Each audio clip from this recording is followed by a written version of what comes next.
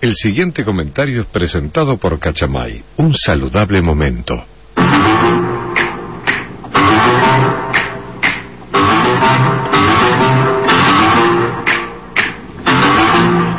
Como nunca, señores, aplica esta música Mm. para el editorial de esta mañana de jueves 3 de octubre.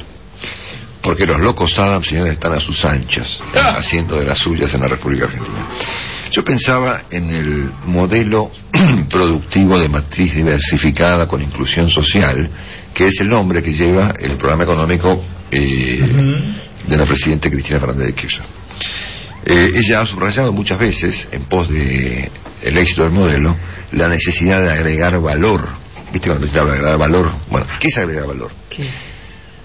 Agregar valor es que bueno, vos producís trigo, por ejemplo, que es una materia prima de escaso valor agregado, ¿no es cierto? Porque el trigo vos ponés en la semilla, sale el trigo, vendés un barco con trigo, valor agregado es poco.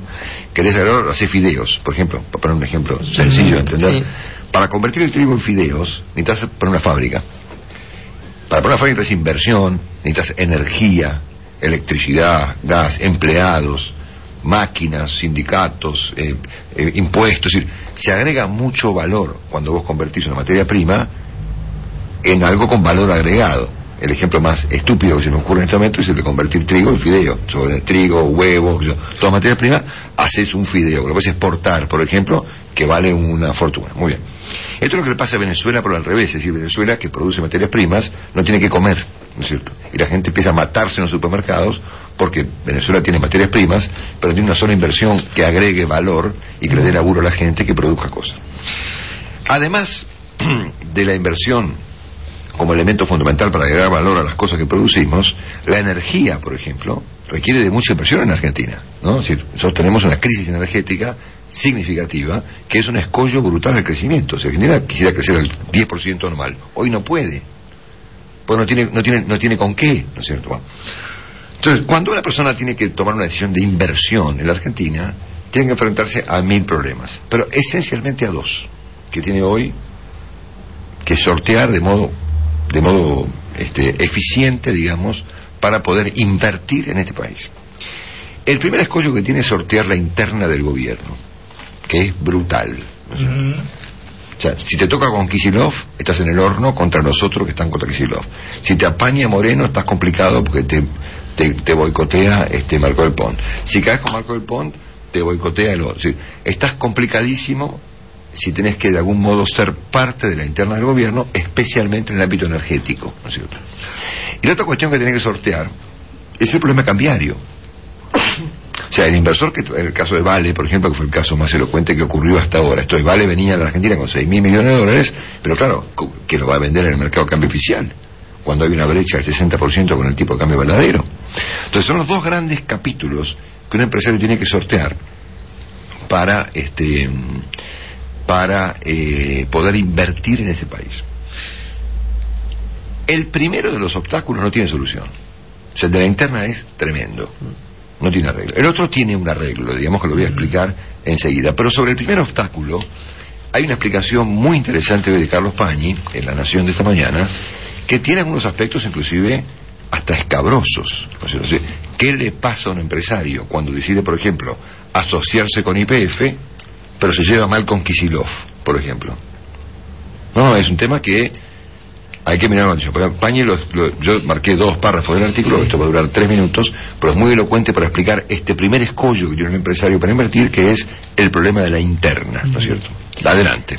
Cristina Kirchner está convencida de que la Argentina es víctima de una conspiración global, un complot urdido para escarmentarla por haber desenmascarado al capitalismo, demostrando que se puede crecer sin tomar deuda. La última vez que expuso esa tesis fue la semana pasada, cuando habló en las Naciones Unidas. Para la presidenta, como para tantos argentinos, esa creencia es tan atractiva que no requiere ser demostrada. Además, la existencia de una gran confabulación le permite desentenderse de innumerables episodios que ocurren a su lado y que podrían ofrecerle otra explicación de los problemas. Es decir, si el bosque no le tapara el árbol, tal vez la señora de Kirchner advertiría que la conjura más eficiente para dañar a su gobierno la orquestan día tras día sus propios funcionarios. El inicio más reciente de esta intriga es el fracaso del blanqueo. Hubo que prorrogarlo mediante un decreto tan urgente que obligó a Carlos Zanini a incurrir otra vez en errores de gramática. Guillermo Moreno, una figura digna de titanes en el ring, presentó la extensión del jubileo como un triunfo sobre el recaudador Ricardo Echegaray, que había condenado la experiencia. Pero si se observa bien, el resultado del combate fue el inverso. Moreno no pudo cumplir con la promesa que había realizado a la señora, entre otras razones poderosas, porque el recaudador lo boicoteó. un boicot interno, bueno, que de algún modo sugirió Willy hace dos días y que está explicado con detalle en la etapa de la Nación. Y después escuchen este párrafo porque te pone la piel de gallina. ¿eh? El área energética registra otros indicios de esta conjura autóctona. Los intentos de Miguel Galucho por conseguir inversiones extranjeras para IPF son saboteados por sus compañeros de aula. No solo Kisilov dedica larguísimos párrafos de sus presentaciones en el Congreso a denostar a las multinacionales que negocian con Galucho. Cuando el lunes de la semana pasada el mago iba a anunciar una inversión de Pampa Energía en el área Rincón del Mangrullo, el fiscal Carlos Gonela, alineado con Zanini, denunció a Marcelo Midlin, el titular de ese consorcio, por lavado. No solo Kisilov dedica larguísimos párrafos de sus presentaciones en el Congreso a denostar a las multinacionales que negocian con Galucho. Cuando el lunes de la semana pasada el mago iba a anunciar una inversión de Pampa Energía en el área Rincón del Mangrullo, el fiscal Carlos Gonela, alineado con Zanini, denunció a Marcelo Midlin, el titular de ese consorcio, por lavado de dinero. Midlin había planeado ese emprendimiento con Sebastián Eskenazi, el representante de Néstor Kirchner en la petrolera. La información sobre las tratativas de Galucho llegó a Zanini desde la propia IPF. La investigación del caso Midlin quedó radicada en el juzgado de Ariel Lijo. Es el hermano de Alfredo Lijo, el facilitador judicial de debido. Como la discusión sobre la apropiación de los dólares del público, la batalla de Galucho con el resto del gobierno se alimenta de una diferencia conceptual. Zanini y Kisilov pretenden que, en vez de ceder activos a empresas privadas, IPF se apropie de áreas de terceros. Por esta razón, la generosidad de los hermanos Bulgeroni, también cercanos a Massa, para comprar bonos solidarios, no es una señal de confianza, sino de pánico. Entonces, la primera cosa que se enfrenta el empresario cuando tiene que invertir en el modelo productivo de matriz diversificada con inclusión social es a estos, a estos riesgos. Que si te toca, por ejemplo, con Galucho, Sanini te manda a la justicia. Entonces, en este contexto va a ser muy complicado que Argentina supere la crisis energética y consigamos inversiones, porque obviamente los tipos que tienen la plata, o que la consiguen en mercados extranjeros, se exponen a terminar como Mitlin, digamos, en un despelote completamente disparatado, ¿no es cierto? Canallesco. Entonces, este problema por el momento no tiene arreglo y la Presidenta, evidentemente, como subraya Carlos Pañi, está muy interesada en observar una, una, una, suerte de conspiración de carácter mundial para sabotear a la Argentina como consecuencia de su desafío al capitalismo mundial, cuando lo que tiene, lo que está pasando, lo tiene en el piso de abajo, ¿no es cierto? Con los locos Adams. ¿eh? Ahora, el otro problema para sortear es el problema de la brecha, es decir, cómo hacer para superar la instancia de que en Argentina hay, para poner plata, una brecha de sesenta y pico por ciento con el tipo de cambio oficial, ¿no es cierto? Mm. Y ahí aparece el VADE. Entonces fíjense que si el empresario puede sortear estas internas y no termina denunciado judicialmente como consecuencia de meterse a poner plata en Argentina, tiene que seguir el siguiente procedimiento. Y tómenme que esto es desopinante.